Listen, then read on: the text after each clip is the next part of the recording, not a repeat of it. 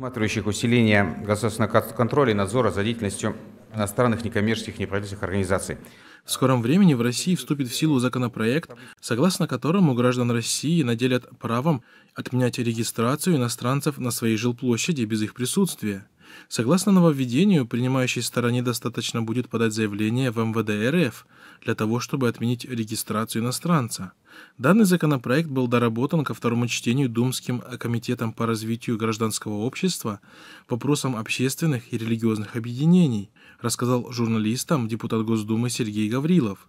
Инициатором ужесточения миграционного законодательства стала известная исламофоб – вице-спикер Нижней палаты парламента и лоббист интересов ФСБ Ирина Яровая. В настоящее время мы устанавливаем право граждан Российской Федерации инициативного снятия с учета иностранных граждан.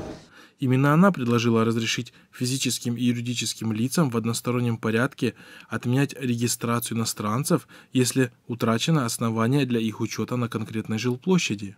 А, комитет рекомендует э, Ко второму чтению депутаты сформировали положение законопроекта, указав, что основанием для прекращения регистрации станет факт убытия иностранного гражданина с места пребывания.